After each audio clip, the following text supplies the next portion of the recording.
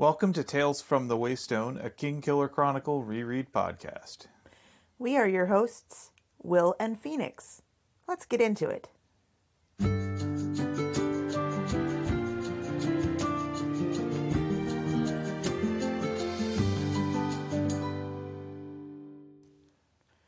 Welcome to Tales from the Waystone, episode 21. The real Arcanum was the friends we made along the way, where we will be looking at chapters 44 and 45 of The Name of the Wind through the lens of currying favor.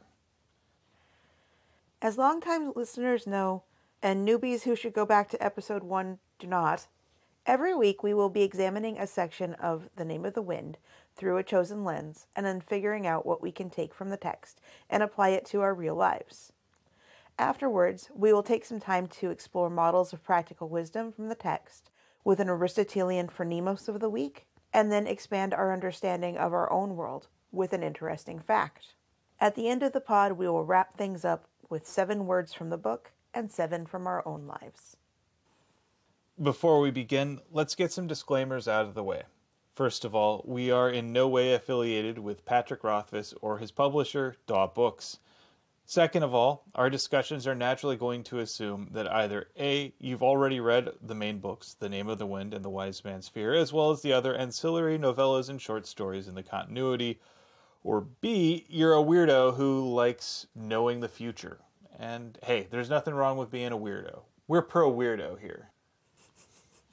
Needless to say, going forward, here be spoilers. Finally, a word to our community. While it's perfectly fine to critique the text as you read it, we're not going to stand for any abuse of the author responsible for it. With that out of the way, I believe it's your turn to do the recap this week. I think you're correct. And for once, I'm prepared. Let me get out a timer here. You got 45 seconds, and if you go over, it's raspberries for you, my friend. You'd like that, wouldn't you? I'd love that. I really miss having raspberry things around the house. Like you ever had them around the house. You don't buy them. You're the one who goes out. I might be going a little stir crazy. Just a bit. All right. So are you ready? Uh huh. All right. In three, two, one, go. Kilvin shows off his ever burning lamp experiments to Kvothe and asks him to study in the fishery. Later, Kvothe, Sim, Will, and Sovoy are talking at Anker's to help Kvothe decide what the subject he should major in is, and which master he should suck up to. Despite all the good advice he is given, Kvothe fixates on the idea of studying with Elodin, who no longer teaches any classes. Sovoy leaves for a date, possibly with Denna, and then harasses a server at the inn on his way out. We then get an interlude where Bast gets to be an audience surrogate, and Kvothe tries to fill some plot holes. 36 seconds. Made it. You can always buy yourself raspberry things. Yeah, I can. You're a really big sweetheart, but you can do things for yourself sometimes. It's not my instinct. If I ever left the house and went with you, you'd get some raspberry things. So pretend I'm with you next time. Okay. All right. So this week we chose as our lens currying favor, which I think brings up an often overlooked portion of the university experience, where in many cases it isn't just about what you know, but also who you know and how you know them and your relationship with them. You know, a lot of people will tell you that it's all about academic achievement, which, I mean, while it's important, there's a lot of interpersonal relationship building that really goes a long way. When you go into a job interview, they're not just necessarily looking for a set of skills, they're looking to see if they're going to want to spend eight hours a day with you. This is true. And in my last job, I actually got to help interview people, which took all of my fear for ever interviewing with anyone ever again completely and just chucked it out the window because I am an unprepared, not so scary person who should not be looked at with fear when it comes to an interview. I don't know. I think I'm pretty unintimidating. Usually, When you're in a good mood, you're not intimidating at all. Okay, I'll take that. I was usually more nervous going in to meet somebody who might work with us than I think that they were, with the exception of the poor kid who came in for an interview when our conference room was basically a fishbowl. And every time you wanted to leave the office, you had to walk by this glass fronted conference room. His knee was just shaking the whole time. And everyone saw it. And we all felt terrible for him. Yeah, my first office job out of college, I had an office that was essentially that old fishbowl conference room. And it was really weird because everyone could see you and you could see everyone. It's easy to get distracted and easy to get a little paranoid too. Oh my god, I can't switch to a new tab because what if it's something that somebody else sees and they don't think I'm working? Right. Not only that, it just feels weird just knowing that you don't have any privacy at all. That same office got used for certain external vendors, and at one point they put a couple of contractors who'd come from a major defense company who were already what would generously be called overly vigilant. And this pretty much just freaked them out. Oh, So, yeah, it's not a comfortable place to be. no. Anyway, we digress. As is common on this podcast. so, in this, we get our first in depth introduction to Master Kilvin. Already, we know that he is essentially an engineer at heart. He is concerned with the solving of problems first and foremost. And in this case, the problem he most wants to solve is how to build a better light bulb. An ever burning lamp. And one of the things I did notice is that one of his lamps is essentially a light bulb, which I thought was kind of fun. Did you also notice that there were twin lamps, one that had a blue flame and the other that had a hot forge orange? Those are the most common colors for film posters. Red and green also.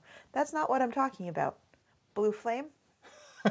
Ah, right, the Chandrian. Yes. Is it a trick of alchemy? They're not the only thing that could cause blue flames. I mean, anytime someone turns on their gas range out here, that'll get you your blue flame. Out here in the real world? Yeah. One thing I noticed is that Kilvin is a little dismissive of the lashing that Kvothe had just received the day prior. I get the impression that the Cealdish traditions or attitudes or what have you are benignly chauvinistic. I get some of that, and I also think there is an emphasis on stoicism within their culture. Goes hand in hand with what I said.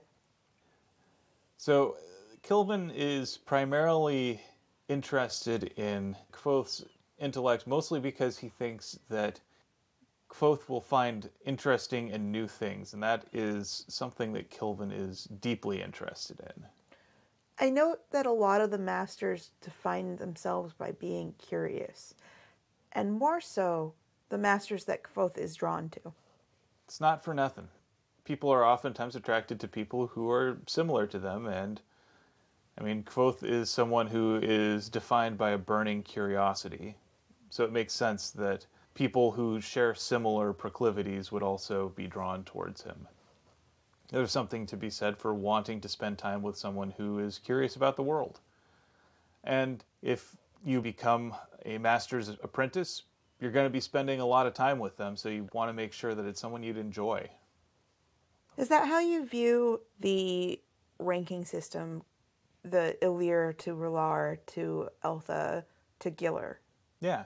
There's an element of relationship to it, I think, that goes beyond just being in a major, right? The person who sponsors you is in many ways your advisor and someone who will be spending a lot of time with you. Again, that goes beyond just the natural aptitudes or your scholastic achievements. It speaks to your character and how you work with other people, what your learning style is, what your communication style is.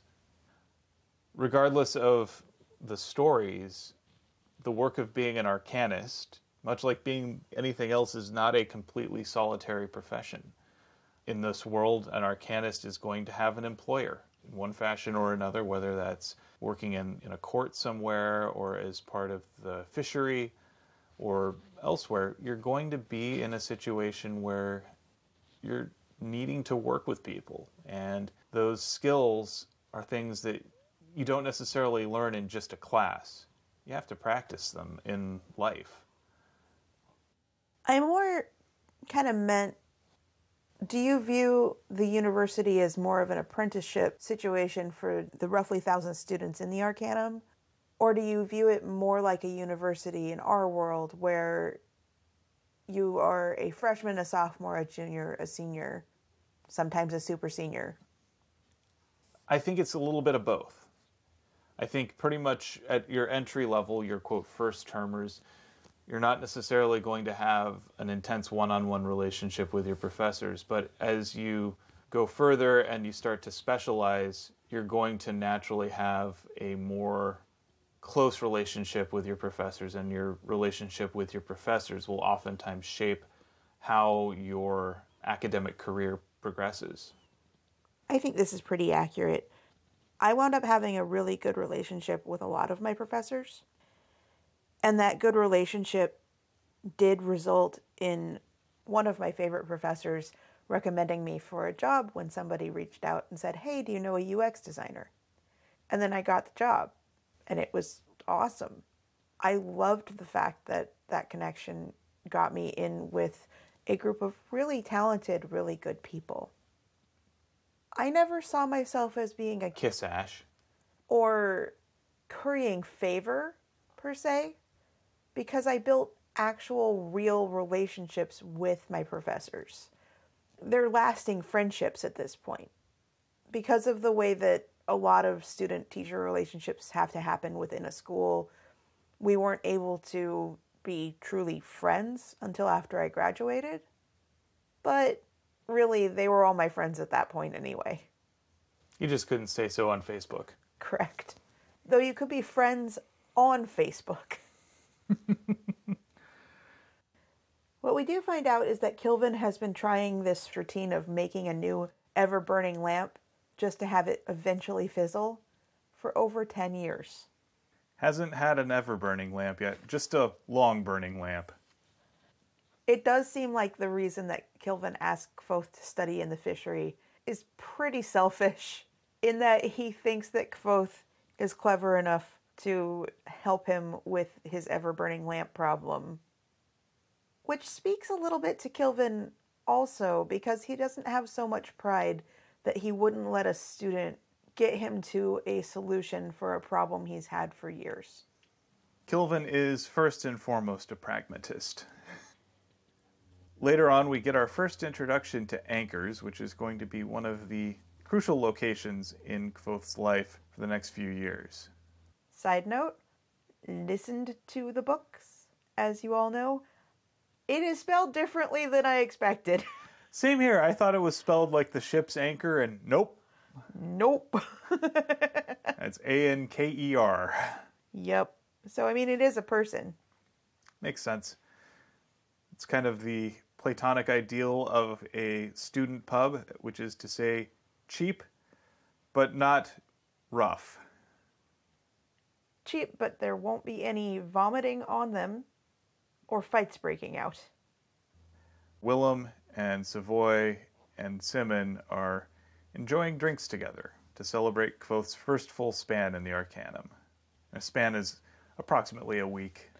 It's somewhere between in a week and 10 days, and I'm sure we could figure it out if we looked it up. We could. Let's do that. We have the internet. Full disclosure in our life, time no longer has meaning. it's all Jeremy Bearimy. Time is a flat circle. I think we've been living in the eye for months, or it could be hours. Okay, so in the four corners, 11 days are grouped together as a span. So it's first 11 days in the Arcanum. Basically a fortnight. Not quite. Fortnight is 14 days. What? It's cute. What's cute? You. Why? The fact that you just know this all off the top of your head, I think it's pretty awesome. I'm allowed to be tickled by that. Sure. Can we get on with Yes, the let's story? get let's get on. Okay. So they're there to celebrate Kvothe's first 11 days in the Arcanum. As per usual, Sim provides some more exposition, explaining to us, the reader, and Kvothe, who should have known this by now. It's in the handbook. Kvothe doesn't read the student handbook. Who do you think he is? Look, he just needs to RTFM. As I expect is normal within a lot of these discussions around a pint of beer, our foursome is talking about which teachers they enjoy, which teachers are, quote, horses Ashes.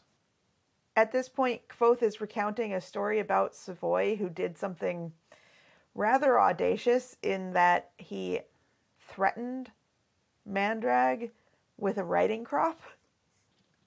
That's the sort of thing that you have to be extremely well connected to be able to get away with. Noble privilege. And Sovoy is exhibiting a lot of that in this chapter. It's a wonder he didn't get whipped. Seriously. Sovoy here also illustrates sort of the fallacy of the meritocracy, where he wants to say that his hard work and dedication and excellence will win through. He doesn't need to, quote, suck up to anybody. It never occurs to him that maybe he really just isn't what Master Mandrag is looking for in a Re'lar. Yeah, that's accurate. We get the exposition explanation of how the Medica works. There are set amounts of time that you have to work as an E'lir, and then as a Re'lar, and then as an El'the, and then possibly become a Giller. And it makes sense. Master Arwyl wants to make sure you've got practice. Well, the verb that most people use for medicine is practicing. And it doesn't matter how brilliant you are, there's no substitute for practice. Of course, Kvothe has little patience for such things. Oh, yeah, I understand this completely. I can move on now. Skip to the end. And part of that, of course, is rooted in Kvothe's economic uncertainty. The first thing he ever thinks of when anyone says this will take longer than you think is how am I going to pay for it? And again, given his circumstances, it's not unusual that he would think in that fashion. Or unreasonable. Overall, everyone continues to tell Kvothe that you should just stick to one subject. Don't try to do everything all at once. Pick a teacher who likes you. Suck up to him. Keep going. And does he listen? No. Will he listen? No. In this conversation, is he listening? No. Because what he does instead is fixate on the idea of studying with a master namer, Elodin, who doesn't teach any classes. And who's also known for being mad as a hatter. Speaking of mercury, there are theories that the ever burning lamp is made from mercury. Huh, interesting. Yeah. It figures that he would naturally assume that the one that he'd need to impress would be the one who falls into that mad hermit role. It would be the one that's unattainable. Again, he wants to study Dracula's, so he's looking for his Van Helsing. Oh, God. Before we get into the conversation about Elodin within the chapter, Sovoy leaves to go have a date, presumably with Denna. As we know, Sovoy later on does have dates with Denna. And then it breaks poor Sovoy's heart when Denna is more interested in Kvothe. Why? I mean, not that Sovoy is a great catch, because on the way out, he pays for extra drinks for the other three and slaps the server on the butt for her troubles. It's pretty gross. Yeah, Yeah, that casual sexual harassment is no laughing matter, and no.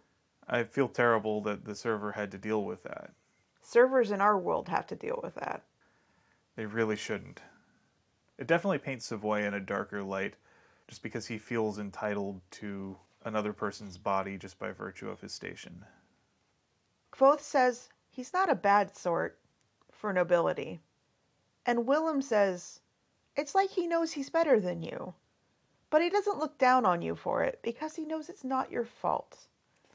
Wow, is that ever just dripping with patronizing language? Yeah. And that's the most charitable view of it. I also want to note something.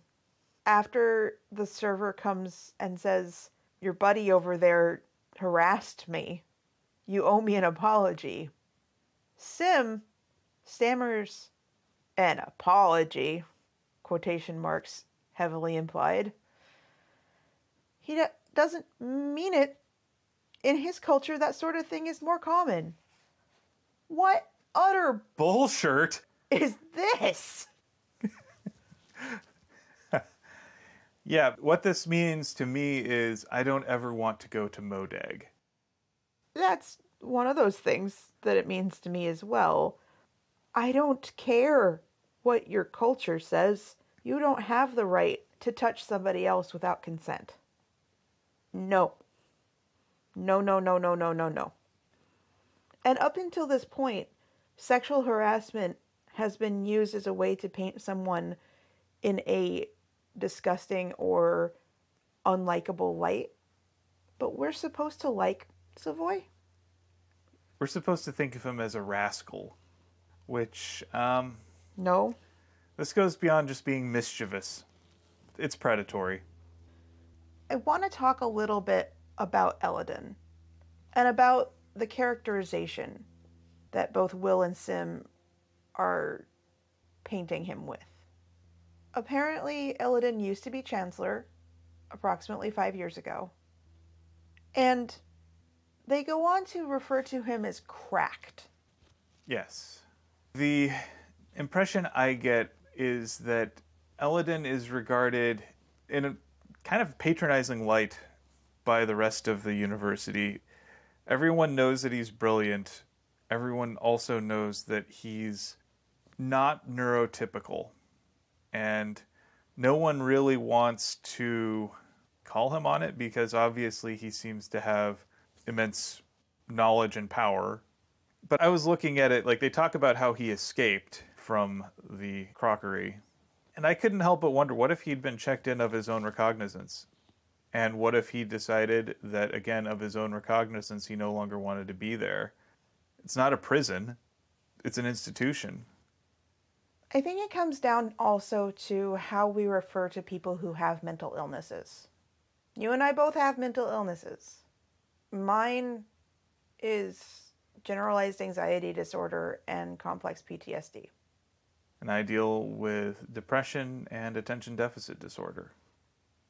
There is this idea out there that we do not want to talk about mental illnesses for fear that we will become mentally ill ourselves or be seen as mentally ill ourselves. As though admitting to a mental illness is the worst thing ever and should be derided and or feared.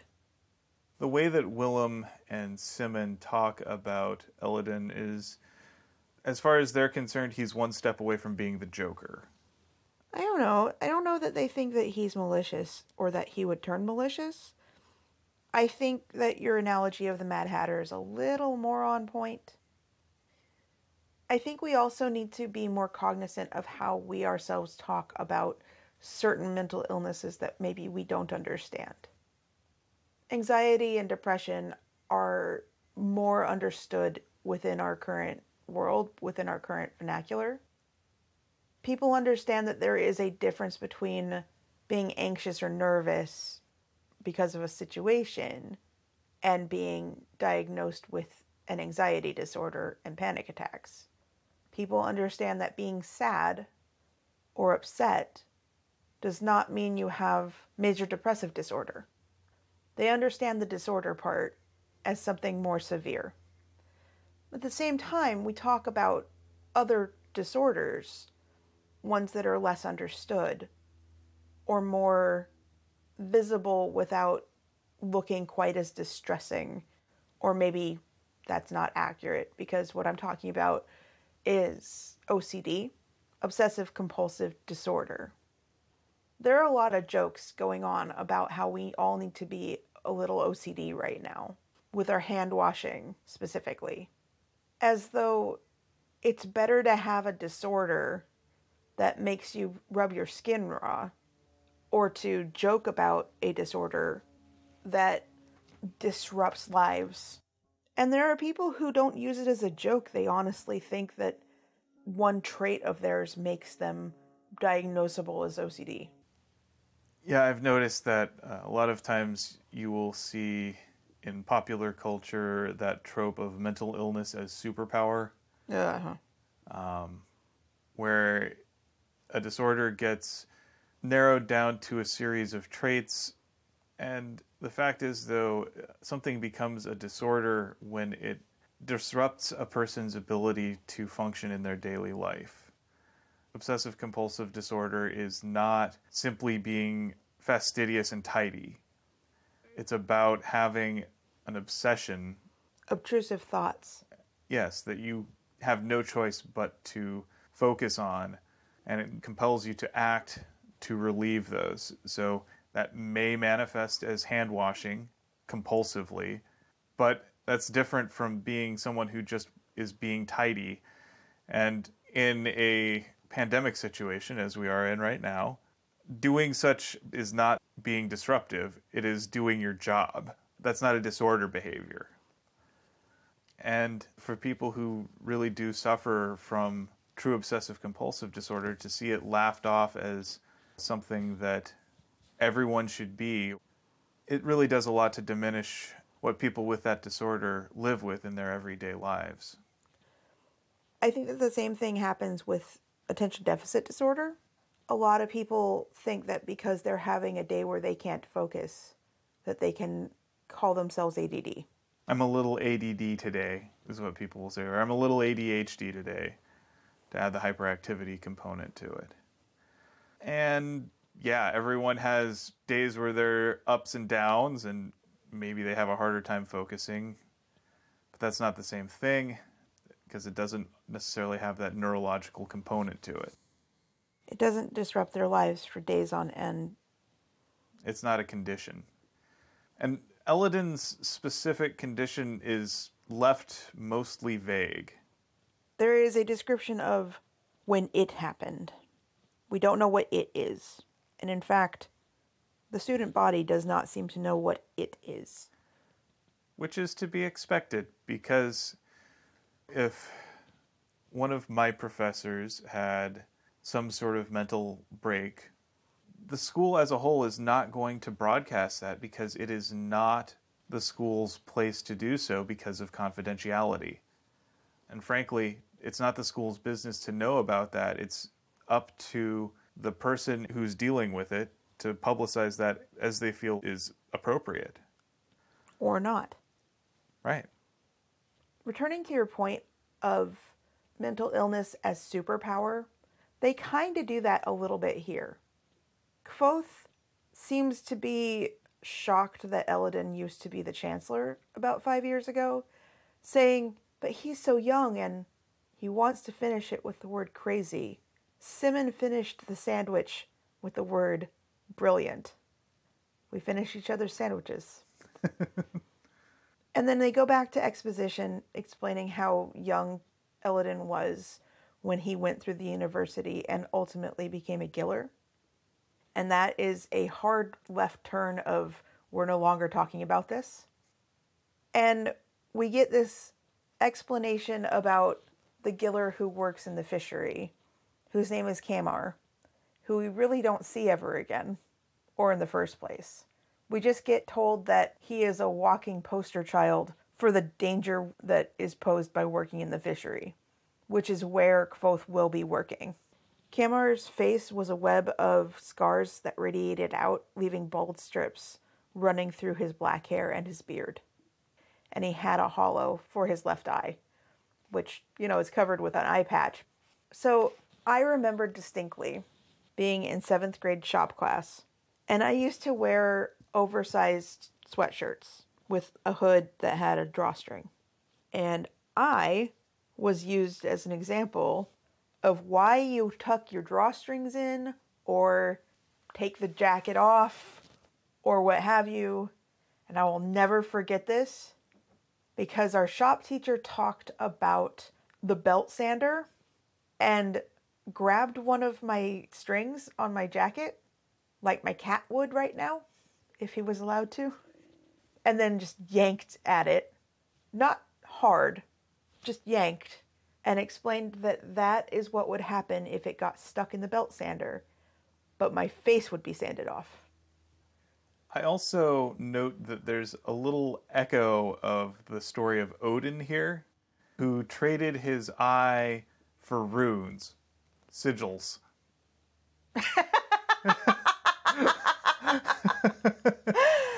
Well, Patrick Rothfuss does seem to stick a lot of these things into his novel. I don't know if it was intentional or not, but it was just an interesting little parallel that he traded his eye for knowledge. and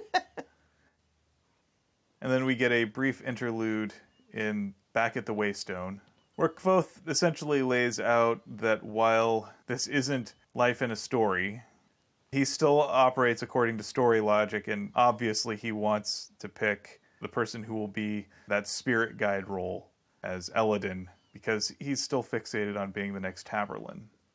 And who better than someone who is the person who seems to know the names of all things and has engineered this great escape and who is this prodigy, much like he sees himself? Of course, he's going to pick Master Elodin.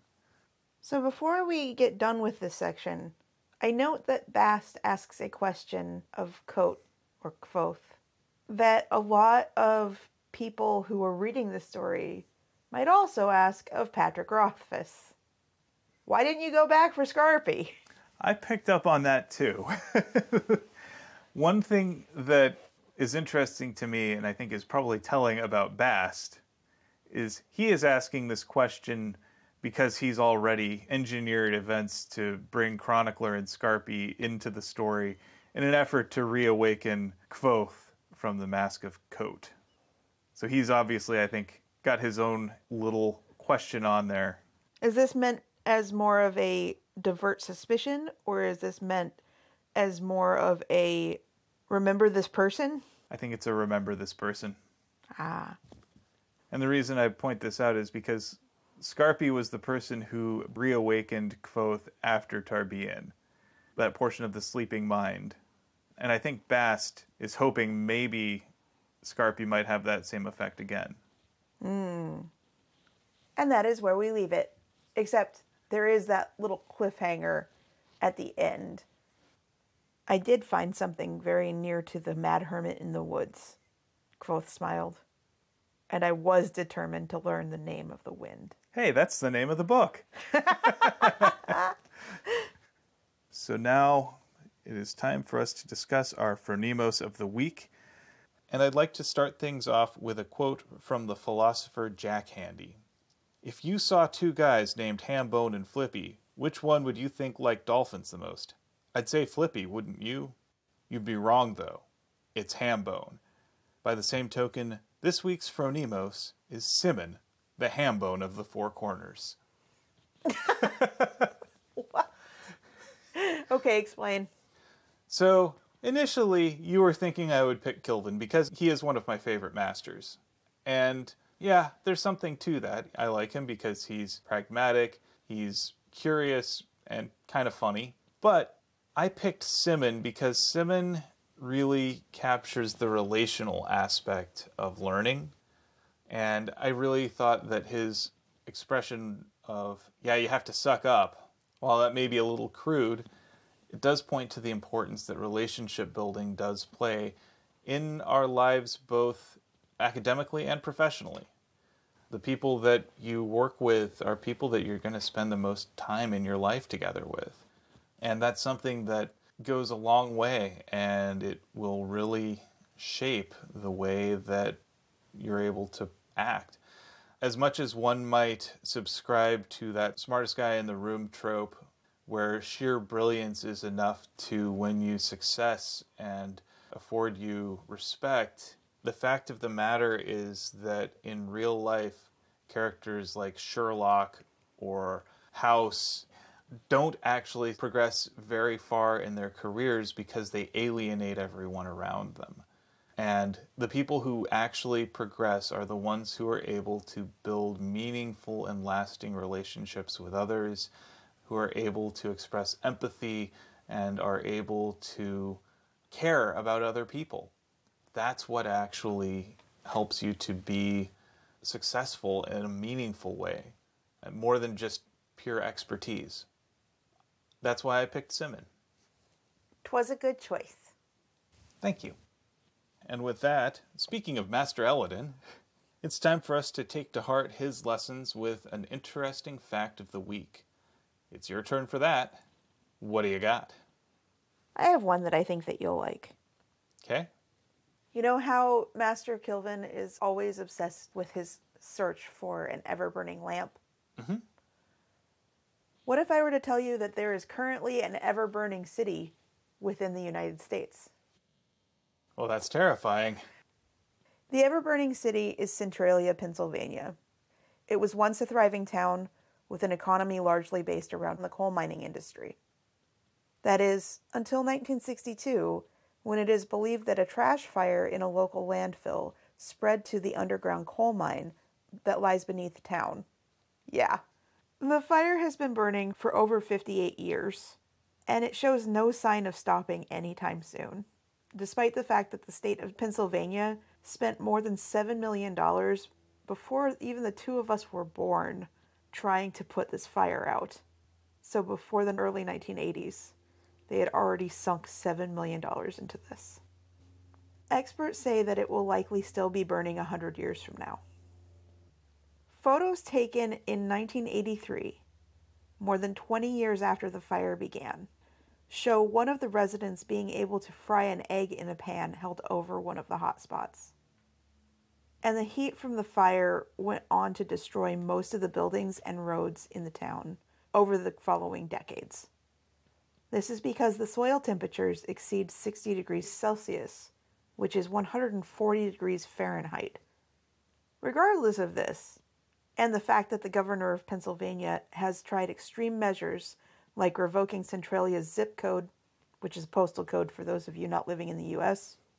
As of 2019, there were still at least six residents who refused to leave their burning hometown.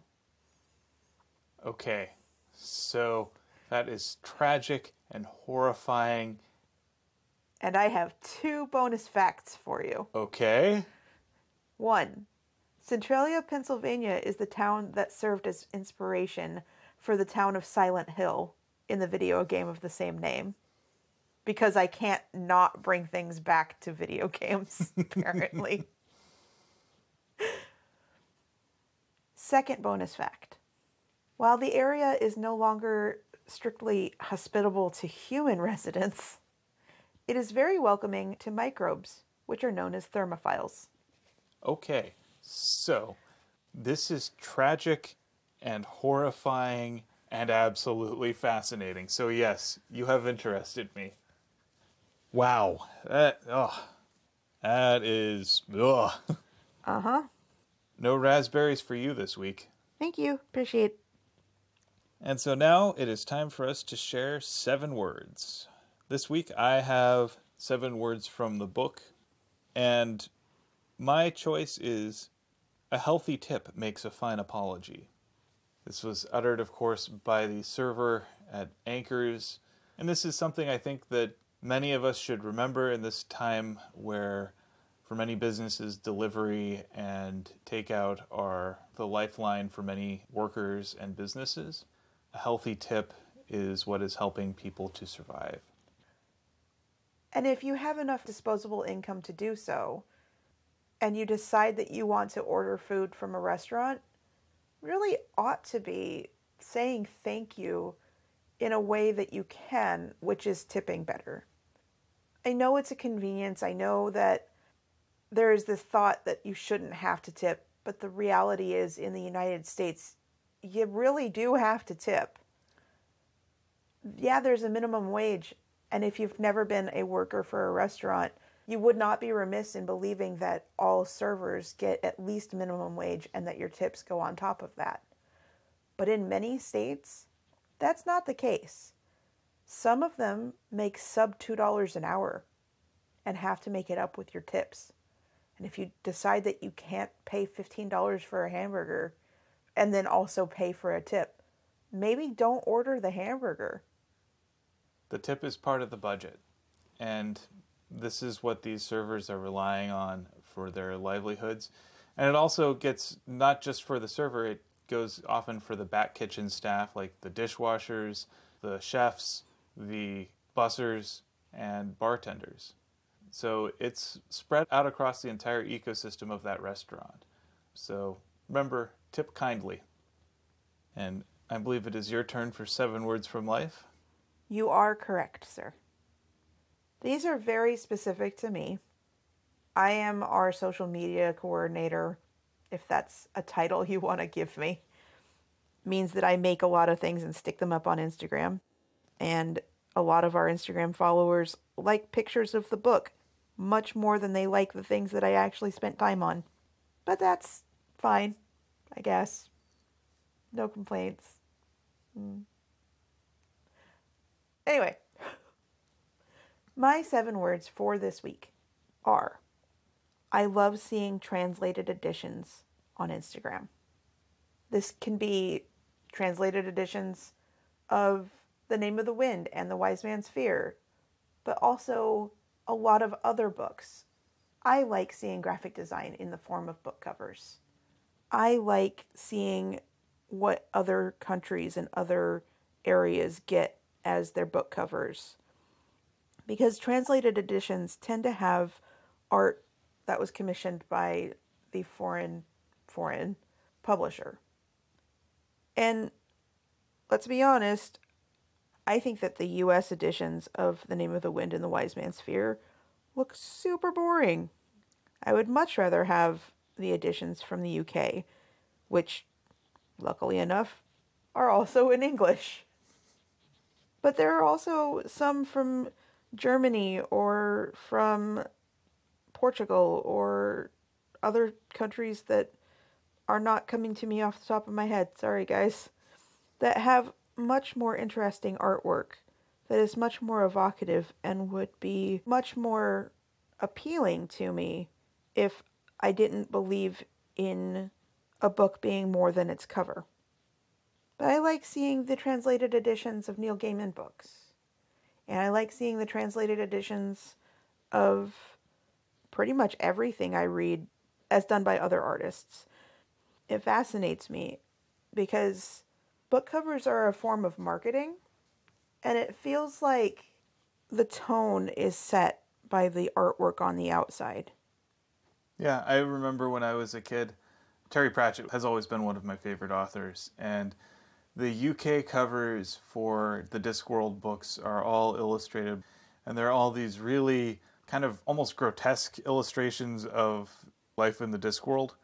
And then the US covers are just really banal. They're just a single color with a single image that isn't really even necessarily of a character or anything like that. It's just an emblem, really.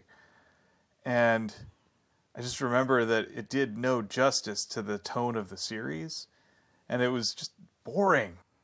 The US covers of a lot of things are boring. And I don't like that. I think that's changing. But I think there was a period of time, like in the 90s, and sometimes these haven't been updated, where the design of the book was not meant to enhance the story. I think part of it is among publishers, they had really internalized the never judge a book by its cover, so why bother with a cover? Right. Let's make this functional in terms of its physical presence rather than functional in terms of its whimsical presence. Yeah.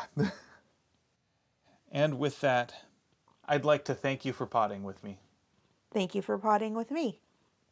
And thank you, audience, for listening to Tales from the Waystone.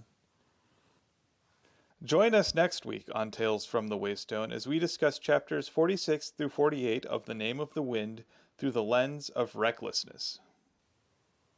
We would like to extend a huge thank you to Shawnee Jang for our theme music. And many thanks to Patrick Rothfuss for creating a world that we've enjoyed exploring. Audio production, editing, and social media coordination, courtesy of me, Phoenix McCullough. Project management and writing, courtesy of me, Will McCullough. If you would like to help support us, please consider becoming a patron on our Patreon page, patreon.com slash waystonepod. And as always, here's to one more day above the roses. To one more day above the roses.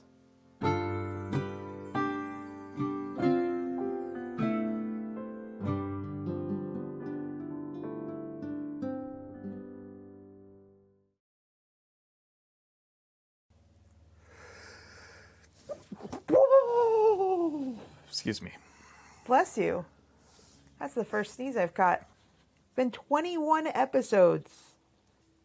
And that's the first time you've sneezed on mic.